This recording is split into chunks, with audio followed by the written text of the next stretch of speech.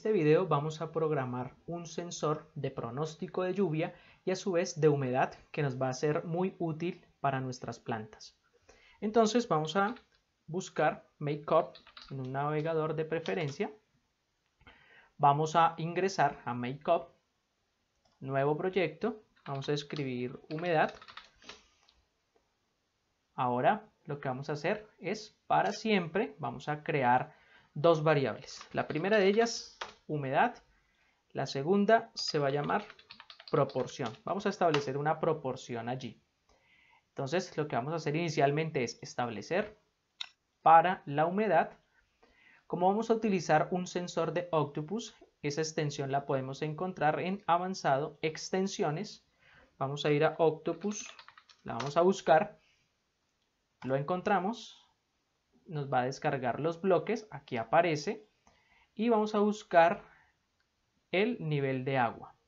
Lo vamos a colocar aquí y él ya nos va a marcar entre 0 y 100 a través de el pin 1.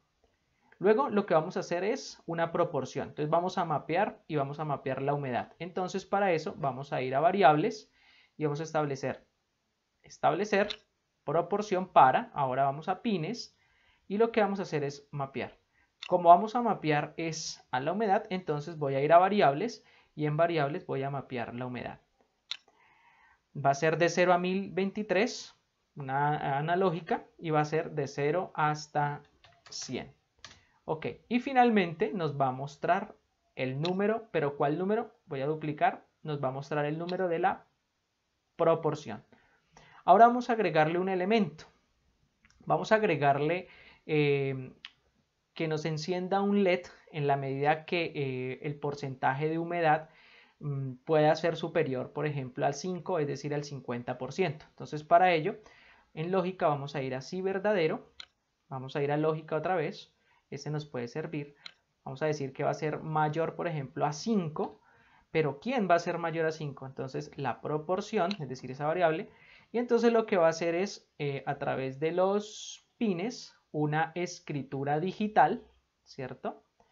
A través del pin 2 y va a ser igual a 1. Recuerde que en la escritura digital solo maneja dos valores, 1 y 0.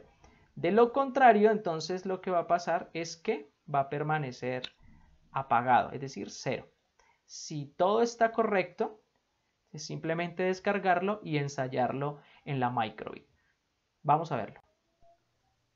Bueno, en este momento entonces vamos a hacer la prueba de la codificación y para ello podemos utilizar uno de estos dos sensores.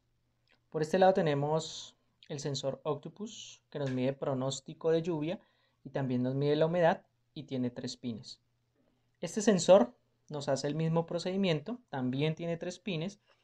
El S que significa la salida analógica, cable amarillo y va conectado al sensor bit, mm, digamos que en el pin 1.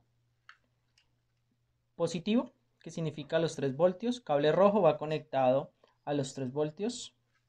Y cable negro, que significa negativo, es decir, tierra, está entonces en la tierra en el ascensor bit. Por este lado entonces tenemos el LED.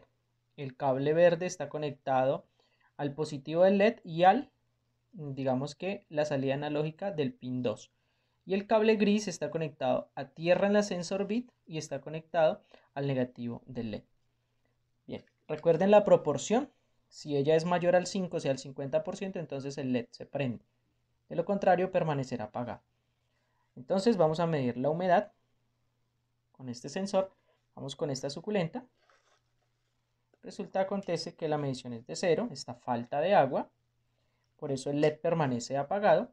Pero cambiémoslo entonces, a esta otra suculenta, miremos. Vamos a colocarla un poquito más para acá. Ok. Y nos está marcando 7.14. El LED se prende. Ah, bueno, aquí ya se, se estabilizó un poco. Miremos. 6.16. O sea que sería 61.6% porque estamos en una proporción.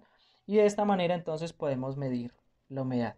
Lo vamos a limpiar un poco y nos va a marcar ahora cero, ¿verdad? Y efectivamente el LED se vuelve a apagar. El pronóstico de lluvia también lo podemos hacer. Es decir, si colocamos un poco de agua, entonces él nos marcará, ¿cierto? También como pronóstico, digamos, de, de lluvia. De esta manera, entonces, podemos decir que el funcionamiento es óptimo.